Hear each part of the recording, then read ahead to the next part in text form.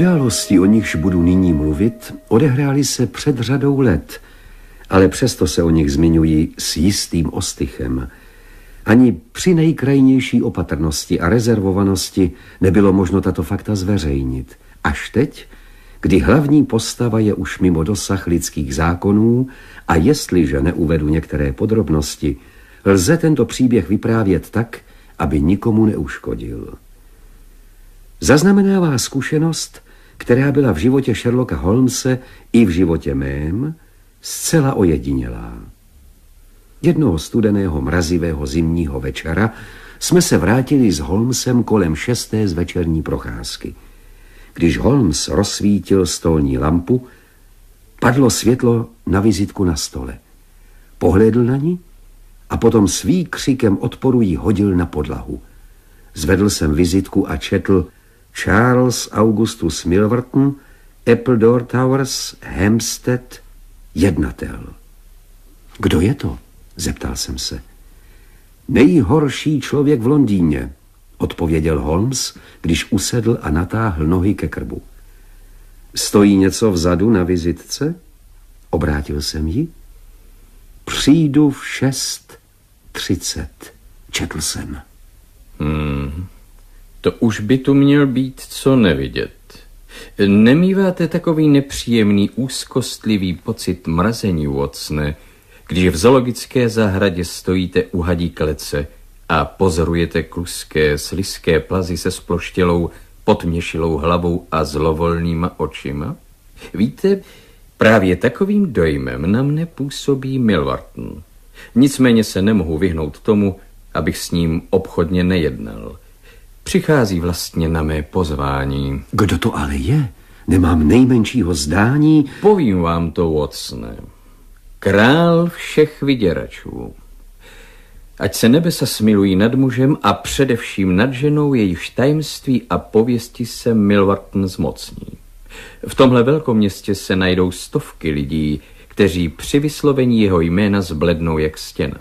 Nikdo neví, kdy je zmáčkne do kleští, neboť Milwarton je natolik bohatý a prohnaný, že nepracuje jen tak z ruky do úst. Dovede čekat i několik let, než vynese kartu ve chvíli, kdy mu kine nejvyšší výhra. Řekl jsem, že je to ten nejhorší člověk v Londýně. A rád bych se vás zeptal, dáli se vůbec srovnávat darebák, jenž v záchvatu horkokrevnosti zmlátí svého spolčence s tímhle člověkem, který metodicky a promyšleně trýzní duši, aby zmnožil své bestak početné měšce peněz. Ale Holmesi nepochybně je ten člověk v dosahu zákona. Teoreticky ovšem ano. Prakticky však nikoliv. Co by ku příkladu některé ženě prospělo, kdyby ho na několik měsíců přivedla do vězení.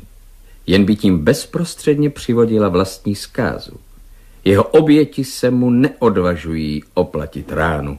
A proč k nám přijde? Protože jedna vznešená klientka svěřila svůj žalostný případ do mých rukou. Je to Lady Eva Prekvelová. Za dva týdny má uzavřít snětek s Earlem z Dovercourtu. Několika jejich nemoudrých dopisů, nemoudrých, Watson, nic víc, které napsala jednomu venkovskému šlechtici, se ten padouch zmocnil. Ty dopisy stačí k tomu, aby ze svatby sešlo. Milwarton hodlá dopisy zaslat Earlovi, jestliže mu za ně nebude zaplacena vysoká částka. Byl jsem pověřen, abych se s ním sešel a dojednal co nejpříznivější podmínky.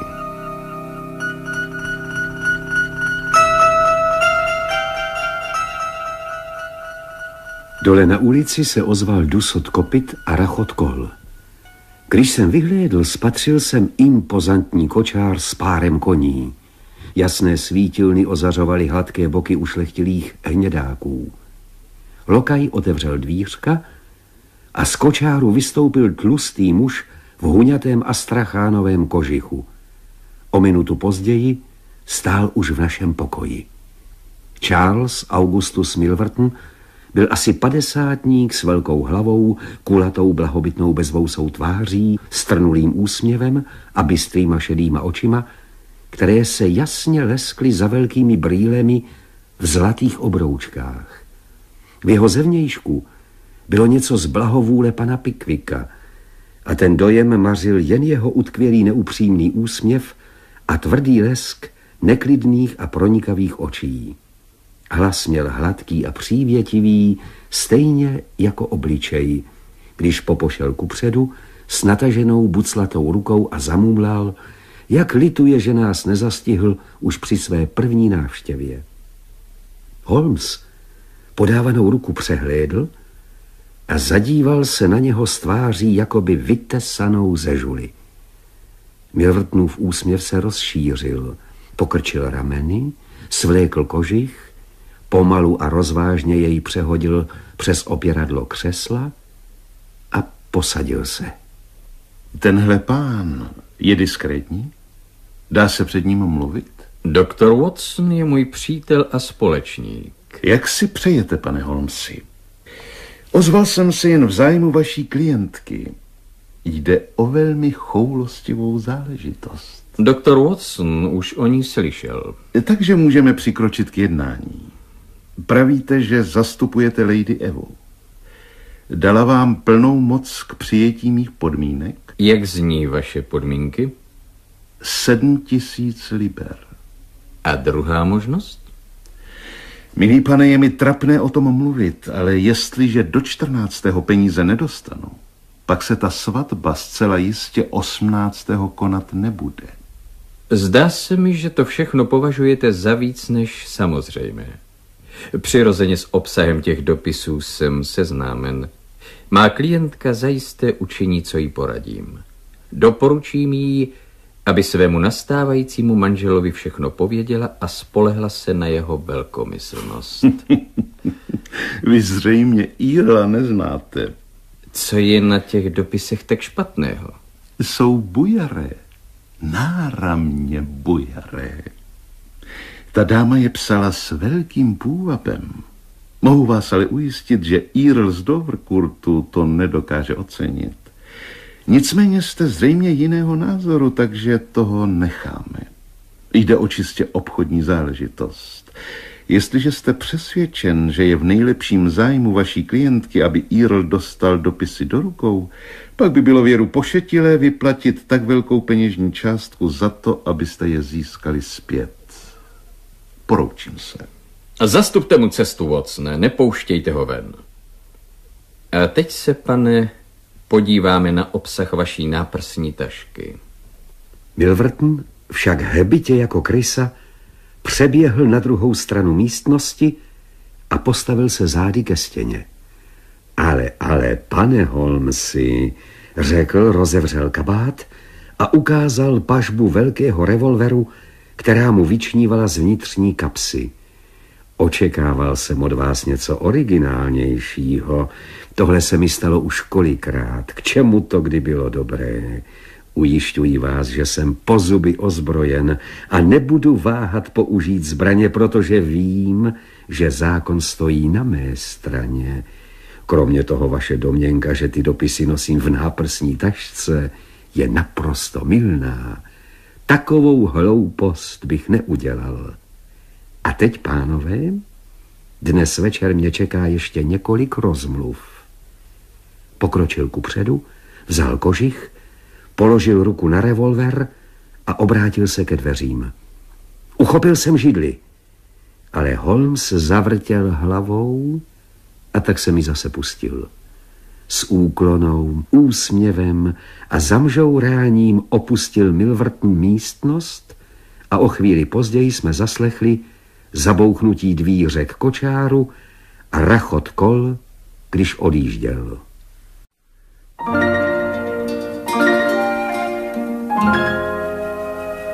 Holmes seděl nehnutě před krbem, s rukama zabořenýma hluboko do kapes kalhot, hlavu svěšenou na prsa a oči upřené na řeřavé uhlí. Půl hodiny mlčel a nehybně seděl. Potom vyskočil s pohybem člověka, který se rozhodl a zašel do ložnice. O chvíli později švihácký mladý dělník s kozí bratkou a vypínavou chůzí si u lampy zapálil porcelánku. Vrátím se později, Vocne, řekl a vytratil se do noci. Pochopil jsem, že zahájil válečné tažení proti Charlesi Augustu Milvrtnovi, ale věru jsem netušil, jak podivné podoby to tažení nabude. Po několik dní přicházel a odcházel Holmes v nejrůznějších denních i nočních hodinách v tomto obleku, ale nevěděl jsem, co dělá. Jen jednou se zmínil, že tráví čas v Hemstedu a nikoli nadarmo. Posléze, za divokého bouřlivého večera, kdy vítr skučel, až nám okna drnčela, vrátil se ze své poslední výpravy a když svlékl přestrojení, usedl ke krbu a srdečně se zasmál. Řekl byste o mně, že jsem ženit by chtivý muž? Kde pak? Ani nápad. Bude vás tedy zajímat, že jsem se zasnoubil. Milí příteli, srdečně gratuluji. S Milvartonovou služebnou. Dobrá nebesa. Holmesy. Potřeboval jsem informace, Watson. A nezašel jste příliš daleko? Byl to naprosto nezbytný krok. Jsem klempíř, vlastním vzkvétající živnost a jmenuji se Imit. Každý večer jsem si s ní vyšel na procházku a povídali jsme si spolu. Dobrý bože, to byly ale hovory. Za to mám všechno, co potřebuji. Znám Milvertnův dům jako dlaň své ruky. Co bude ale dělat ta dívka, Holmesy? Nemohu za to, milý Vocne. Když je ve hře tolik, musíte vynášet karty, jak nejlépe dovedete. Nicméně mohu s potěšením konstatovat, že mám nenáviděného soka, který mě určitě vyhodí ze sedla, jakmile se k ní obrátím zády. To je dnes ale nádherná noc. Vám se tohle počasí líbí? Vyhovuje mým záměrům mocne, neboť mám dnes v noci v úmyslu vloupat se do Milvertnova domu. Pro boha, Holmesi, uvažte, co činíte. Milý brachu, všechno jsem pečlivě uvážil. Nikdy se nepouštím do ukvapených činů a také tedy bych ten rázný a věru nebezpečný postup nezvolil, kdyby existovala jiná možnost. Pohleďme na věc jasně a střízlivě. Uznáváte, doufám, že jde o čin morálně ospravedlnitelný, třeba že technicky vzato, trestný. Vloupat se do jeho domu je vlastně totéž, jako vzít mu násilím náprsní tašku. Čin, při němž jste mi byl ochoten pomoci. Ano, morálně je to ospravedlnitelné, pokud nemáme v úmyslu vzít nic jiného než předměty sloužící k nezákonným účelům. Tak jest. Protože jde o čin morálně ospravedlnitelný, uvažuji teď pouze o otázce osobního rizika. A na to by pravý muž neměl klást přílišný důraz, když dáma v zoufalé tísni vyžaduje jeho přispění. Odstnete se v naprosto nevýhodném postavení. No, to už souvisí s tím rizikem. Žádná jiná možnost, jak dopisy získat, neexistuje. Nešťastná dáma nemá tolik peněz a v její rodině není nikdo, komu by se mohla svěřit. Zítra je poslední den lhůty. A jestliže se těch dopisů nezmocníme dnes v noci, ten padouch dodrží slovo a dočista ji zničí. Musím tudíž svou klientku buď ponechat jejímu osudu, anebo vynést poslední kartu. Mezi námi, Watsone, má sebeúcta a věhlas mě nutí bojovat až do konce. Víte, mně se to nelíbí, ale asi to jinak nepůjde. Kdy vyrazíme? Vy tam nepůjdete. Pak nepůjdete ani vy. Dávám vám své čestné slovo a nikdy v životě jsem je neporušil, že odjedu drožkou přímo na policejní stanici a udám vás, pokud mi nedovolíte, abych se toho dobrodružství zúčastnil s vámi. Nemůžete mi pomoci. Jak to víte? Nemůžete vědět, co se stane. Já jsem rozhodl, nemyslete si, že sebeúctu a dokonce i tu pověst máte jen vy sám. No, milý brachu, budiš. Bydlíme spolu v tomhle pokoji hezkých pár let a bylo by zábavné, kdybychom společně skončili v téže vězeňské cele.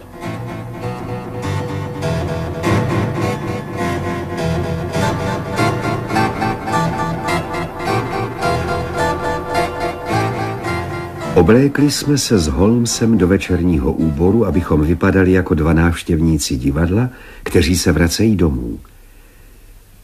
Na Oxford Street jsme zastavili drožku a odjeli na vymyšlenou adresu do Hempsteadu. Tam jsme drožkáři zaplatili a se zapjatými zimníky byla palčivá zima a vítr nás profukoval. Jsme kráčeli podél okraje parku. Musíme si počínat velmi obezřetně. Listiny jsou v nedobytné pokladně v pracovně toho zloducha a pracovna je před pokojem jeho ložnice. Milvarton, jako všichni malí tlouštíci, kteří si potrpí na dobré jídlo, je náramný spáč. Agáta, to je má snoubenka, říkala, že se v čeledníku obvykle chechtají nad tím, jak pána nemohou probudit. Má tajemníka, který je mu zcela oddaný a celý den se nevzdálí z pracovny. Proto tam vnikneme v noci. A potom má zlého psa, který pobíhá po zahradě. Včera a předevčírem jsem si s Agátou dal schůzku pozdě večer a ona teď Hafana zavírá, abych k ní měl cestu volnou. Tady je náš dům, ten veliký uprostřed zahrady. Tak, branu a teď doprava mezi ty vavřínové keře. Bude lépe, když si zde nasadíme škrabošky. Vidíte?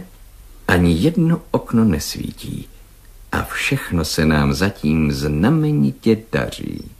S černými hedvábnými maskami, které nás proměnili ve dvě nejsveřepěji vypadající postavy v celém Londýně, přikradli jsme se k tichému, ponurému domu. Po jedné straně se rozkládala jakási veranda, krytá taškovou střechou, s několika okny a dvojími dveřmi. To je jeho ložnice. Tyhle dveře vedou rovnou do jeho pracovny. Hodili by se nám nejlépe, ale jsou uzamčeny a zajištěny závorou. A kdybychom chtěli tudy, natropíme příliš mnoho hluku. Tady pojďme.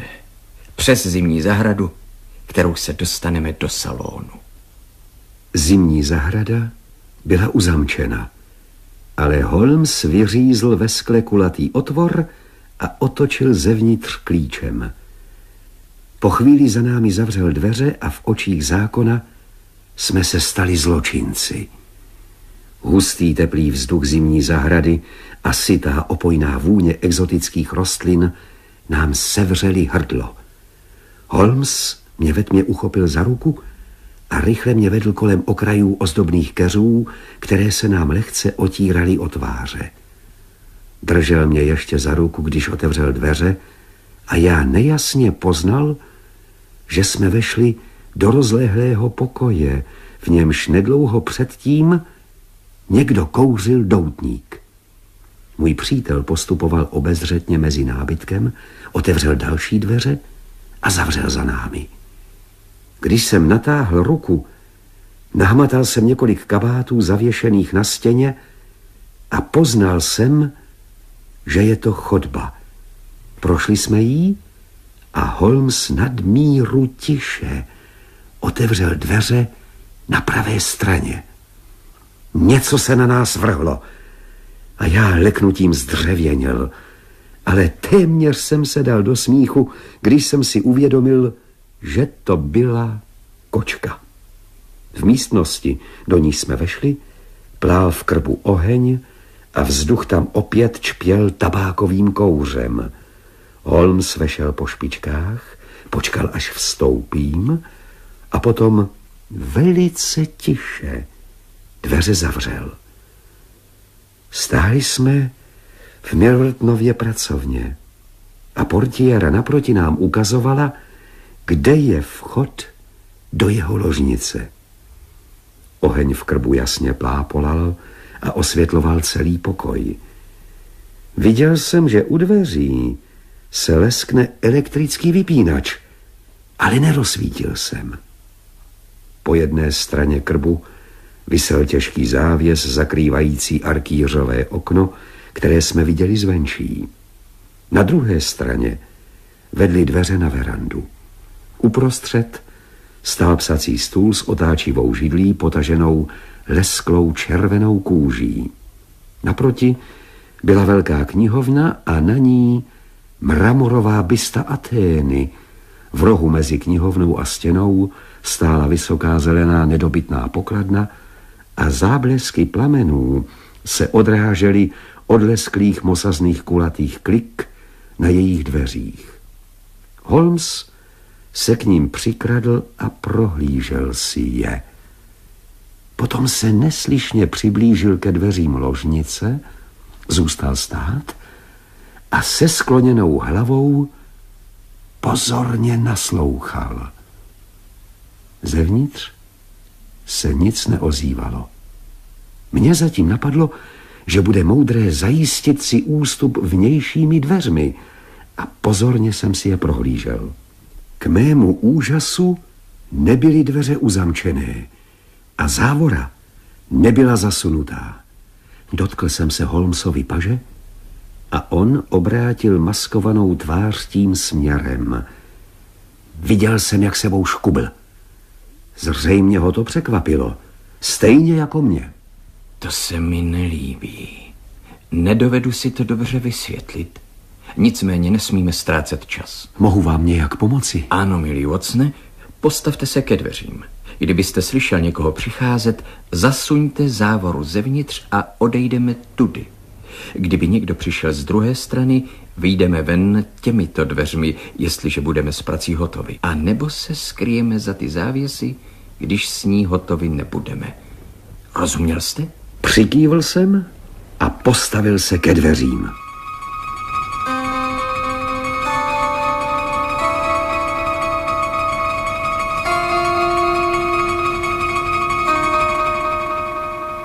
První pocit strachu mě přešel a pocitoval jsem teď pronikavé vzrušení, jaké jsem nikdy nezažil, pokud jsme byli ochránci zákona a nikoli jeho narušiteli. Vznešený cíl našeho poslání, vědomí, že je nesobecké a rytířské, podlost našeho protivníka, to všechno způsobovalo, že jsem se vůbec necítil jako provinilec, naopak. Radoval jsem se, a byl nadšen očekávaným nebezpečím. S obdivem jsem pozoroval, jak Holmes vybaluje pouzdro a vybírá nástroje s klidnou, vědeckou přesností chirurga chystajícího se k choulostivé operaci. Věděl jsem, že otevírání nedobytných pokladen je Holmesovým oblíbeným koníčkem a chápal jsem, jaké potěšení má z toho, že může změřit své síly s touto zlatozelenou nestvůrou drakem, který ve svém jícnu skrývá pověst mnoha krásných paní.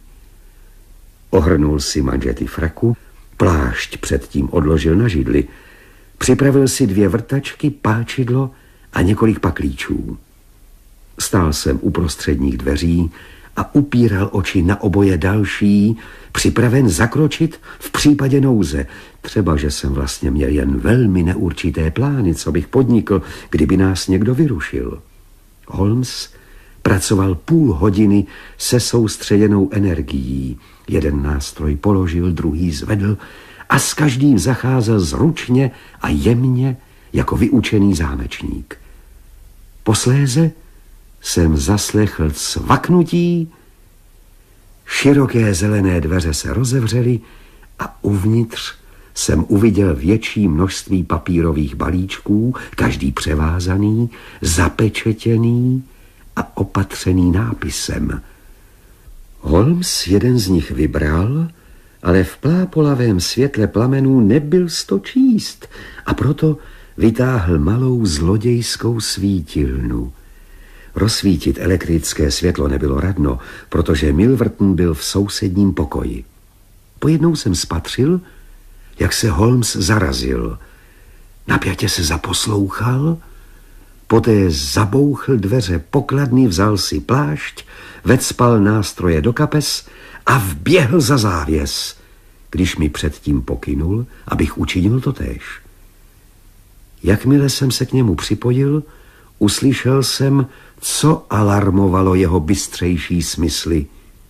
Nejasný, hluchý zvuk se změnil v pravidelný dusot těžkých, rychle se přibližujících kroků.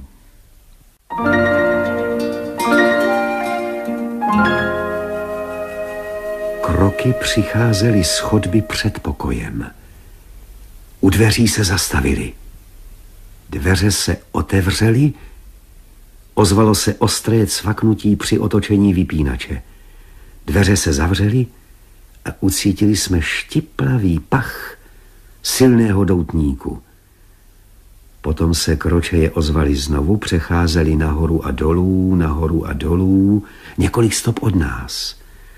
Nakonec zavrzala židle a kročeje dozněly. Potom se ozvalo cvaknutí klíče otočeného v zámku a šustot papírů. Až dosud jsme se neodvažovali vyhlédnout, ale teď jsem trochu roztáhl závěsy před sebou a vykoukl jsem mezerou.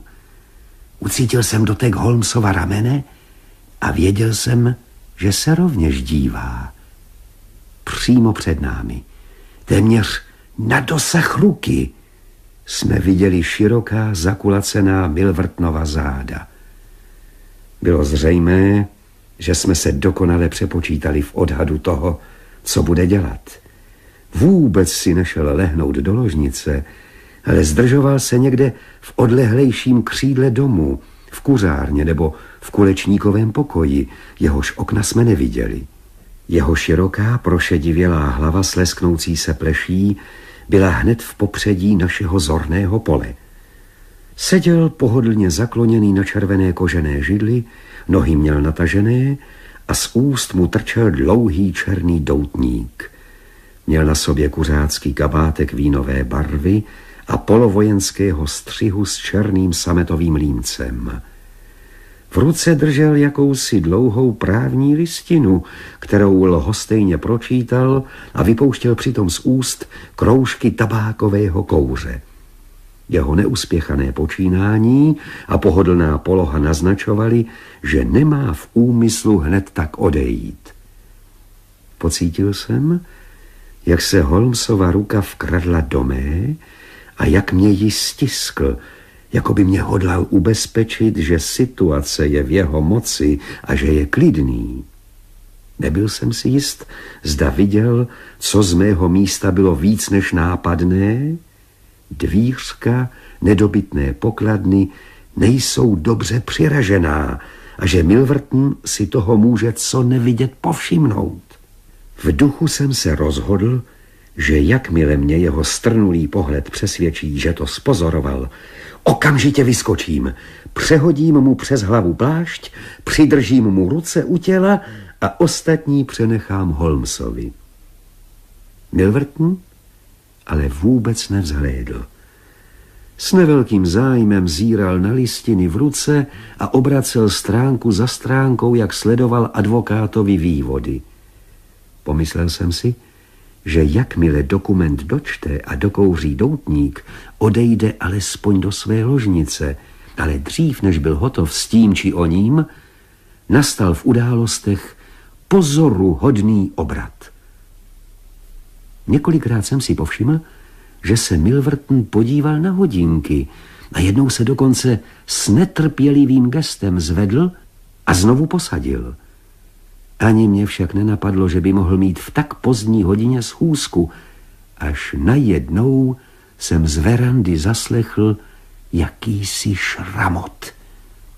Milverton upustil listiny a strnule se narovnal v křesle. Zvuk se opakoval a pak se ozvalo slabé zaťukání na dveře. Milverton vstal a otevřel.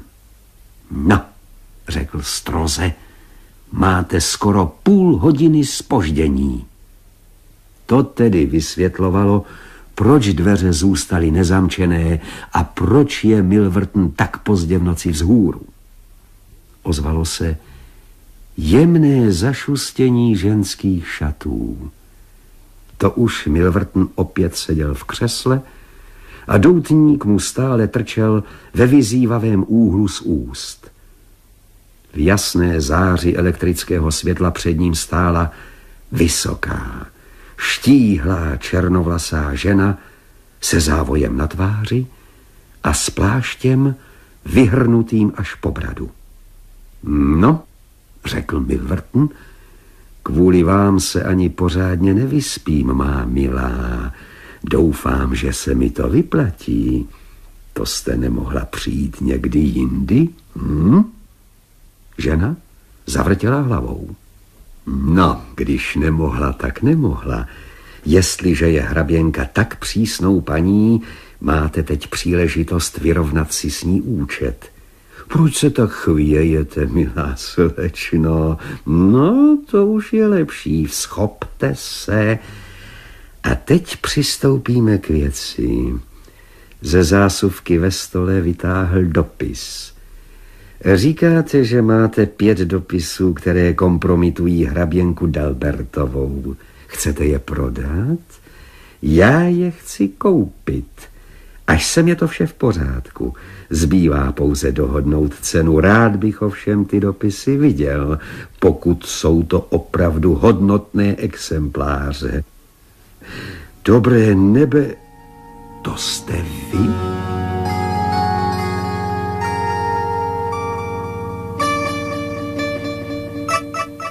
Žena beze slova nadzvedla závoj a spustila límec pláště, který jí zakrýval bradu.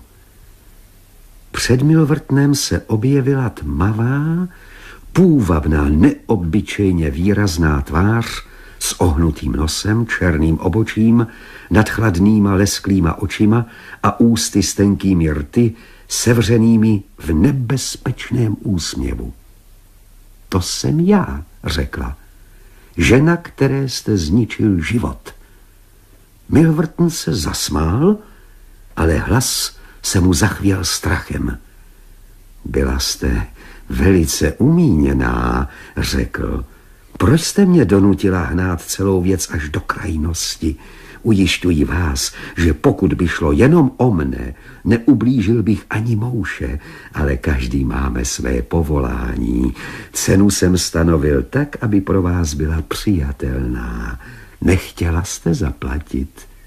A tak jste ty dopisy poslal mému manželovi a jemu, nejušlechtilejšímu muži, který kdy žil, puklo statečné srdce a zemřel. Vzpomínáte si, že když jsem včera večer těmito dveřmi vešla a snažně vás žádala, prosila o milost, vysmál jste se mi do obličeje. Vás vůbec nenapadlo, že byste mě zde někdy opět spatřil. Ale mě ta noc naučila, jak se s vámi setkat tváří v tvář o samotě.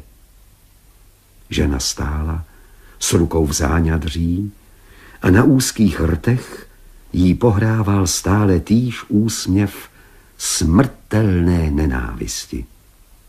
Nikomu už nezničíš život, tak jak si ho zničil mě. Tu máš, ty pse, tu máš a tu máš, tu máš, tu máš. Vytáhla malý lesklý revolver a vyprázdnila jednu komoru po druhé do Milvrtnova těla. Žádný zákrok z naší strany nemohl toho člověka uchránit před jeho osudem. Ale když žena pálila jednu střelu za druhou do Milvrtnova padajícího těla, chystal jsem se vyskočit. Avšak ucítil jsem, že mi Holmes chladně a pevně sevřel zápěstí. Pochopil jsem, co všechno znamená to jeho silné varovné sevření, že to není naše věc, že padoucha stihla spravedlnost, že máme své povinnosti a své záměry, které nesmíme ztrácet ze zřetele. Sotva žena vyběhla z pokoje, Holmes rychlými, tichými kroky přešel ke druhým dveřím. Otočil klíčem zámku. V témž okamžiku jsme zaslechli hlasy v domě a hluk pádících nohou. Výstřely z revolveru vyburcovali služebnictvo. Holmes s dokonalou chladnokrevností přeběhl k nedobytné pokladně, vzal odtud plnou náruč převázaných balíčků z dopisy a všechny naházel do plamenů. Opakoval to jednou a pak znova, dokud pokladna nebyla prázdná. Potom se rychle rozhlédl. Dopis, který předznamenal Milvrtnovu smrt, ležel na stole, celý potřísněný krví. Holmes jej hodil mezi hořící papíry. Potom vytáhl klíč z vnějších dveří, vyšel za mnou ven a zvenčí je zamkl. Tudy, vocne, řekl, tímhle směrem můžeme přelézt přes zahradní zeď.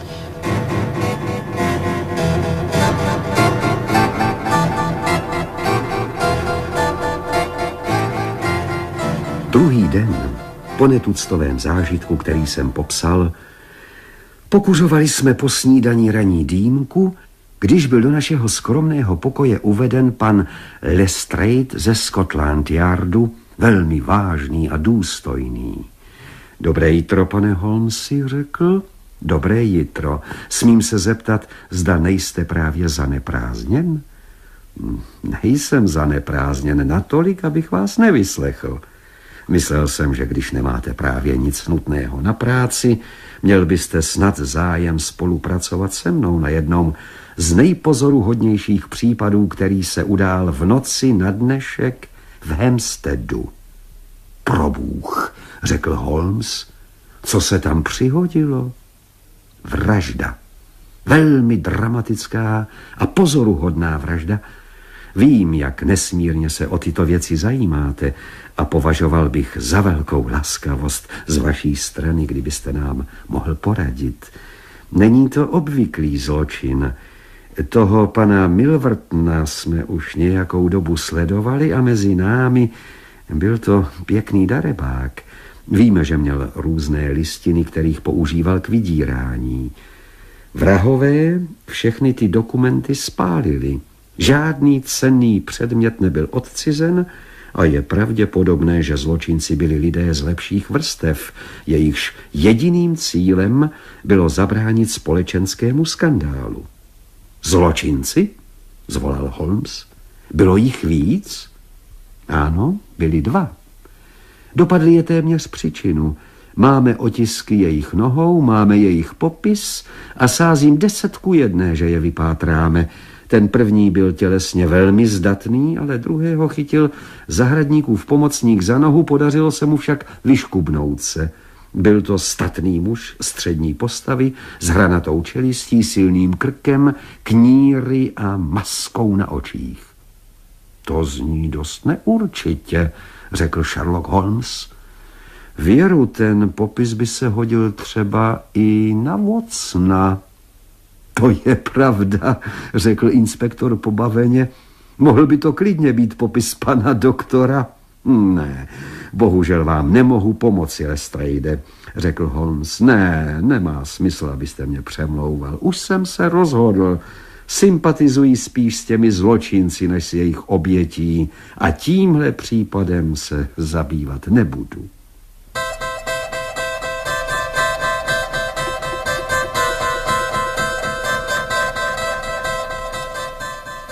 Holmes mi neřekl ani slovo o tragédii, které jsme se stali svědky, ale neuniklo mi, že byl celé dopoledne velice zamyšlený a svým nepřítomným pohledem a roztržitým chováním působil dojmem člověka, který se pokouší něco si vybavit v paměti. Ještě jsme nedojedli oběd, když pojednou vyskočil. U všech všudy vocne, přišel jsem na to zvolal. Vezměte si klobouk, pojďte se mnou. Rychlými kroky spěchal po Baker Street a po Oxford Street, dokud jsme nedorazili málem až k Regent Circus. Po levé straně je tam výkladní skříň plná fotografií slavných osobností a módních krásek.